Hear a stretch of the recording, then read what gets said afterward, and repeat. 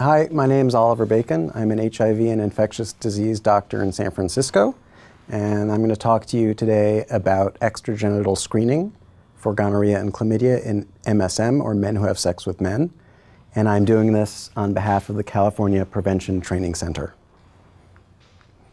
This is a roadmap of what we're going to talk about today. So, we're going to introduce a patient, we're going to talk about the reasons for screening, we're going to talk about the CDC screening guidelines, current screening practice and how we're doing, things you can do to make it easier to screen, some treatment guidelines, particularly updates since uh, 2015, and then what to do with our patient. Okay, so this is Jeremy. He's 21. He's here for a routine health exam. He feels well. From his chart, you know he's in good health. He did have gonorrhea two years ago.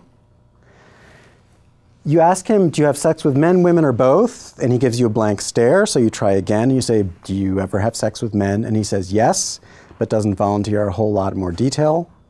Uh, you know from his chart that he's been vaccinated for Hep A and Hep B. So, you want to screen him. Why would you screen? So, there are a number of reasons to screen. One is you'll find diseases and you can treat them and prevent ongoing morbidity. Two, treating an incident STD reduces transmission, and we know that there are explosive rates of STDs in men who have sex with men. Three, we know that having a bacterial STD is associated with incident HIV infection and should prompt an HIV test. And finally, we know that diagnosing someone with an STD identifies someone who might benefit from pre-exposure prophylaxis or PrEP. Okay, so I'm going to talk a little bit about rising rates of STDs in San Francisco. These are rates of gonorrhea, chlamydia, and early syphilis in men who have sex with men in San Francisco between 2007 and 2013, and you can see a steady upward trajectory, particularly in gonorrhea and chlamydia. I put PrEP there in 2012. That's when PrEP or pre-exposure prophylaxis really appeared in some measurable fashion in San Francisco. And you can see that rates of these STDs were increasing before PrEP hit the streets. Uh, and I say that because PrEP has often been blamed in the popular press for rising rates of STDs, but we know they were rising before PrEP arrived. Okay, in particular, today we're going to talk about rectal chlamydia, rectal gonorrhea, and pharyngeal infections. And you can see that those have been on the rise concomitantly uh, with overall rates of these STDs. Okay, so I said before that having a bacterial STD is associated with HIV risk, and he, you can see that from this slide. So if you had rectal gonorrhea or chlamydia, your risk of being diagnosed with HIV in the following year was 1 in 15 if you were a man who had sex with men. Contrast that with a 153 risk in MSM who did not have rectal gonorrhea or chlamydia. That calculus changes a little bit with the arrival of PrEP. These are data from the Kaiser San Francisco PrEP Clinic, and you can see that despite high rates of STDs in 500 person years of PrEP use, 50% of patients were diagnosed with any STD, including 33% with rectal gonorrhea, but none of them were diagnosed with HIV. So if you identify a patient who has a rectal STI and put them on PrEP, you erase that increased risk for HIV acquisition. So because of data like these, the CDC has included diagnosis of a rectal gonorrhea or chlamydia infection as a reason for recommending PrEP to your patients. So these are the screening guidelines for STDs among MSM. They include HIV testing, syphilis serology, testing for gonorrhea and chlamydia in the urine, in the rectum, and in the pharynx, at least annually testing frequency should be increased for patients who have multiple or anonymous partners, who have partners who have multiple or anonymous partners, or who use drugs.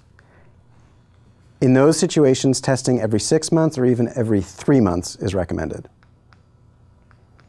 Okay, so how are we doing following these guidelines? So among MSM, what percentage of gonorrhea or chlamydia infections do you think would be missed if you only were to test the urine? And if you guessed more than 70%, you'd be correct. So these are data from the STD surveillance network looking at rates of screening by site. And you can see, and these are in MSM, and you can see that we do pretty well screening for gonorrhea and chlamydia in the urine. We don't do as well screening in the pharynx or in the rectum, which is a problem because you can see from these figures that as much rectal gonorrhea was detected as urogenital gonorrhea. And in fact, when we talk about chlamydia, more rectal chlamydia was diagnosed than urogenital chlamydia. So in summary, urethral screening alone misses a lot of disease, over 70% of extragenital gonorrhea and over 85% of extragenital chlamydia. These are data from the same study showing that 74% of pharyngeal gonorrhea was detected in the absence of a positive urethral test. Similarly, 72% of rectal gonorrhea was detected in the absence of a positive urethral test. And 88% of rectal chlamydia was detected in the absence of a positive urine test. Okay, so that's extragenital testing in HIV negative MSM. How are we doing screening for STDs in HIV positive MSM? And the answer is also not very well. We do relatively well looking for syphilis, over 50% uh, based on chart review of patients were tested for syphilis at their last appointment. However, 20% were tested for chlamydia or gonorrhea. You can sort of imagine a reason why. Testing for syphilis is very straightforward. It's a blood test. You add it to your other panel of blood tests. Testing for gonorrhea or chlamydia, particularly extragenital gonorrhea or chlamydia, requires a swab, which can be time consuming and potentially uncomfortable for both providers and patients. We know that one thing you can do to make this easier is to allow patients to swab themselves. And we know that this is very, very acceptable to patients and has similar performance characteristics compared to clinician swabs. So you can have patients swab themselves in the bathroom. You can have patients swab themselves in the exam room before you walk in. You can even take it out of the clinic and have patients swab themselves at the lab in a bathroom. And in any of those cases, patients can deposit the swabs at the laboratory for processing.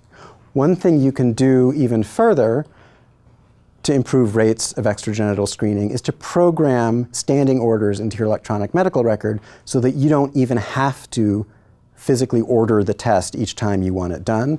The, or, the standing orders are there. The patient can pick up a screening kit, self swab, and drop off their samples at the lab. Okay, so now a word about treatment.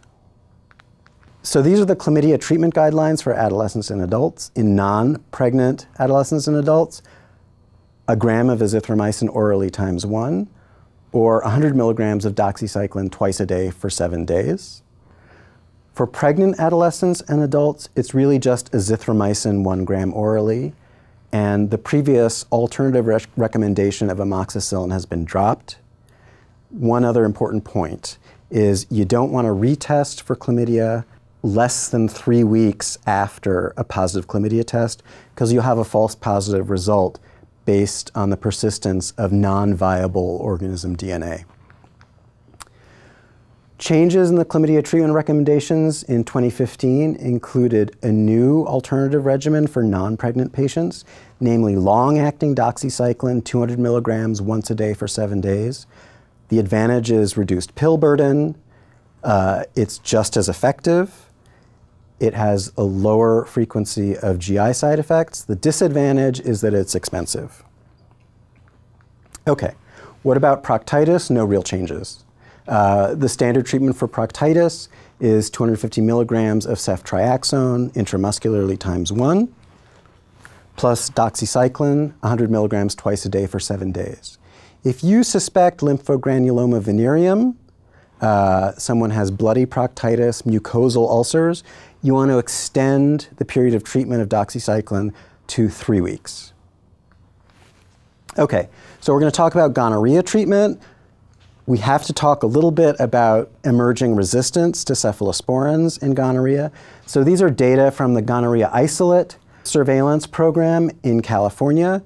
This is looking at rates of resistance to cephalosporins, specifically cefixime in orange and ceftriaxone in red over time. You can see there was a bit of a spike in 2009, 2010. That's come down a bit, but this is still of concern. We don't want this organism to become resistant to cephalosporins.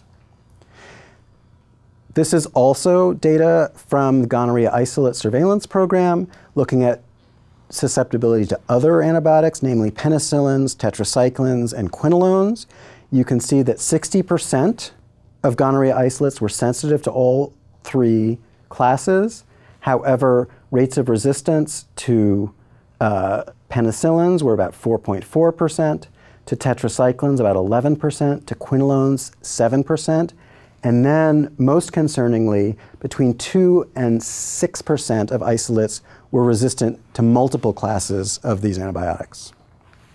So this leads to the current recommendations for treating gonorrhea, which are 250 milligrams of ceftriaxone intramuscularly times 1, plus 1 gram of azithromycin PO times 1. And you'll notice that doxycycline has been dropped as an alternative to azithromycin based on these increasing rates of tetracycline resistance. Okay, so what about treatment alternatives for patients with gonorrhea? So for anogenital infections, you can use an oral cephalosporin, cefixime 400 milligrams once a day, plus a gram of azithromycin. And in case of severe allergy to penicillins or cephalosporins, whereas we used to use two grams of azithromycin orally once, that recommendation is changing.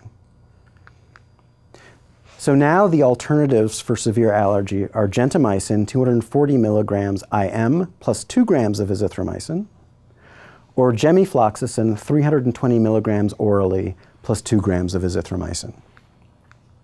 You'll note that doxycycline has been removed uh, as co-treatment uh, unless there is known azithromycin allergy, which is very rare. Okay. So what about test of cure? Who needs a test of cure after gonorrhea treatment? So anyone with pharyngeal gonorrhea treated with an alternative regimen, anyone who is suspected of having treatment failure, we're going to get to that in a minute, and then anyone treated using a non-recommended or non-standard monotherapy. So what is suspected cephalosporin treatment failure? This is the persistence of gonorrhea despite appropriate cephalosporin treatment in someone who's at low risk for reinfection. And I say that because most cases of quote unquote persistent gonorrhea are actually cases of reinfection, not cases of drug resistance or treatment failure. However, you should suspect treatment failure if someone remains symptomatic for three to five days after treatment, if they have a positive culture for gonorrhea more than 72 hours after treatment, or if they have a positive NAT for gonorrhea more than seven days after treatment. So the first thing you do if you suspect antibiotic resistance in gonorrhea is collect specimens for repeat NAT testing and for culture. You can ask the lab to do a disk diffusion E-test or an agar dilution to look for drug resistance. You also want to notify your local public health lab and the CDC and collect isolates to send to both those places for additional testing. Your first step is to retreat using the standard first-line therapy, which is ceftriaxone plus azithromycin, particularly if you suspect reinfection rather than resistance. If that doesn't work or you have a strong suspicion for resistance, then you want to use one of the two alternative regimens, namely intramuscular gentamicin plus 2 grams of azithromycin or oral gemifloxacin plus 2 grams of azithromycin. So back to Jeremy, feeling well, here for his annual checkup. It turns out he's had four male partners in the last three months, some with condoms, some without. Uh, you decide to do three site NAT testing and to talk to him about pre exposure prophylaxis or PrEP. So I'd like to thank my colleagues Ina Park and Stephanie Cohen for their wisdom and for some of their slides. Uh, hope this was useful and thanks for listening.